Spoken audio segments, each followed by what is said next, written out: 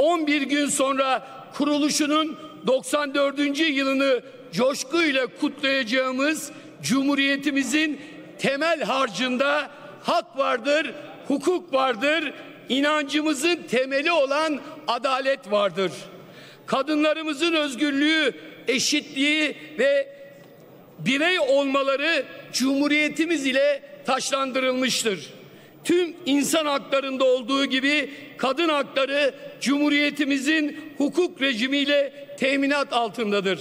Oysa bu düzenleme kadınlarımıza önemli haklar kazandıran medeni kanunumuzun sulandırılmasından başka bir şey değildir.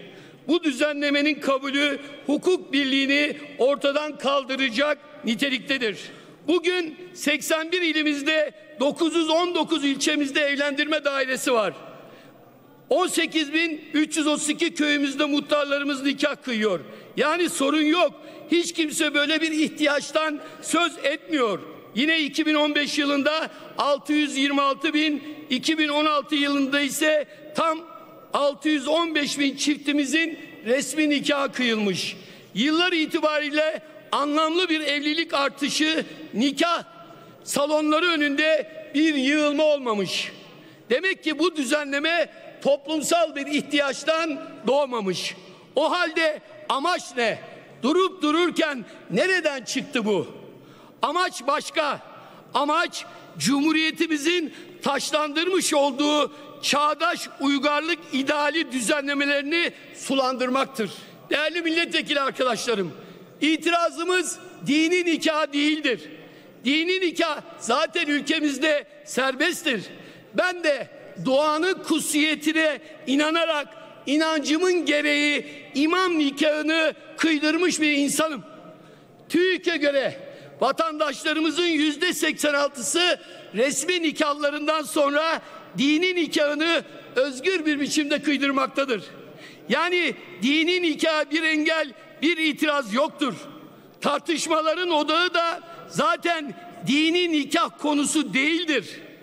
Sorun çağdaş hukuk devleti rejimiyle çatışma ideolojisine zemin hazırlamadır. Değerli milletvekilleri, bugün yüreğimizi dağlayan terör sorunumuz var. Ülkemizin işsizlik sorunu var. Her beş gencimizden biri işsiz. Çalışanlarımızın yüzde otuz beşi kayıt dışı.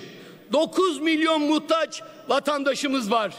Emeklilerimizin, çiftçilerimizin, öğrencilerimizin, velilerin sorunları var. Sınırlarımızın ötesinde her geçen gün büyüyen bir yangın var. Meclis olarak bizim bütün bu sorunları çözüm bulmamız gerekiyor. Biz ülkemizde huzur içinde, komşularımızla barış içinde yaşamak istiyoruz. Yapılan hataların bedelini halkımız ödemesin istiyoruz. Kurucu önderimiz Mustafa Kemal Atatürk'ün yurtta barış, dünyada barış sözünü bu ülkenin temel varoluş felsefesi haline getirmek, bu ilkeden milim sapılmasın istiyoruz. 80 milyon özgür, eşit ve kardeşçe birer yurttaş olarak yaşamak istiyoruz. Onun için anayasamıza, layık hukuk devletimize, Atatürk'ün ilkelerine ve büyük önderimizin devlet prensiplerine ve ideallerine her zamankinden daha fazla sahip çıkmak hepimizin görevi olmalıdır. Saygılarımla. Teşekkür ediyorum Sayın Yalçınkaya.